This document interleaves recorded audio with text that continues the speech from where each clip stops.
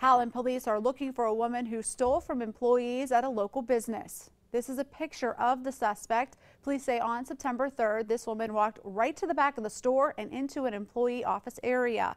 The woman then grabbed a few of the workers' purses and stole things from inside. If you have any information or know who the suspect is, you're asked to please call the Howland Police.